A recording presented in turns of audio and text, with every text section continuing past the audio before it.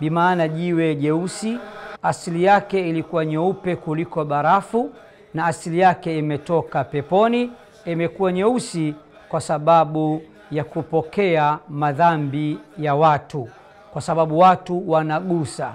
Ni sunna kuigusa.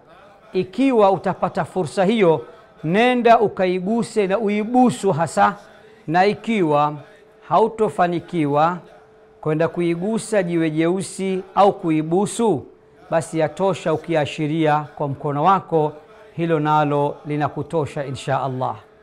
Sasa tunaanza kutufu katika Alkaaba.